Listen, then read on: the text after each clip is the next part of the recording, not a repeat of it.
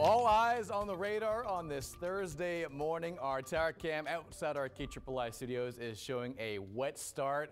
Wet roads and very slick spots out there this morning. Be careful, leave a little extra early. It's 76 degrees. Winds are from the southeast, which is fueling the amount of showers and storms we have out there. Before I get to the radar, visibility is reduced mostly everywhere, especially out west in Orange Grove, Alice, and along the coast near Flower Bluff, Port Aransas, and over in downtown Corpus Christi. And this is all thanks to the radar being pretty active. Now we have a lot of tropical moisture swinging onshore from the south and southeast and you'll see zooming in onto the island, the JFK Causeway, and the Flower Bluff, more scattered to numerous showers are developing all across Nueces County. Now zooming in onto the roadways, you can see near Airline, McArdle Road, Everhart. This is where a lot of the heavier rain is right now, and some of these pockets are producing some brief heavy rain. I do have lightning tracker on as well. No lightning associated with this. But nonetheless, still some heavy rain northeast of Corpus Christi and Port Aransas, some scattered light rain and just south of Rockport. And I do want to take you out to the west and southwest. More activity is starting to come in from Hebbronville, from the Rio Grande Valley, and from the, uh, you know Laredo, Zapata County.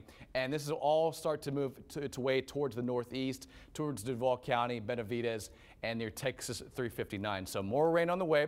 Scattered showers and storms all day today. On and off activity, rounds of storms. High near 84 degrees. Very warm, very humid. And some of the storms that are generated as they develop and produce later on this morning and this afternoon, they will be heavy. And by late tonight and tomorrow morning, the coverage of rain only increases. So we have a lot of instability in the air. That's going to lead to lots of rain today. Now, again, it's going to be on and off. It's not going to be 24-7 rain, but you'll notice by this particular forecast model, it's indicating more scattered downpours out in George West and Beeville by lunchtime.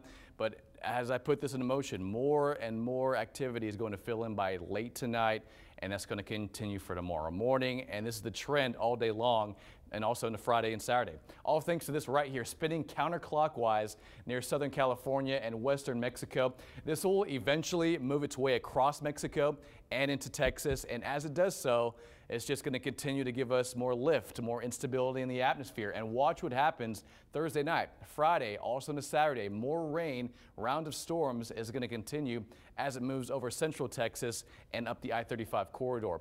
And depending as you know this system moves you know quickly, if it moves quickly, uh, by Sunday morning, Sunday afternoon, we could be on the drier side of things. So, you know, I've been mentioning all morning, if we are on the drier side of things, by Sunday, we may see some sunshine, but at the moment, keeping rain chances in the forecast through Sunday and Monday, just in case, of which we could see between two and five inches of rain, which is a lot in a short amount of time. And a lot of this is going to fall between now and Saturday here in South Texas. All right, seven day forecast, more storms on the way for today, for tomorrow and Saturday. High temperatures in the lower to middle 80s, overnight lows around 71 to 72 degrees. Uh, a bit warmer on Sunday, especially in the early next week where temperatures will push near 90 degrees, which is about right for this time of year in early June. But keep in mind, more storms and lots of rain in the forecast for the next 48 to 72 hours. John Thomas. We'll keep that in mind, Ryan.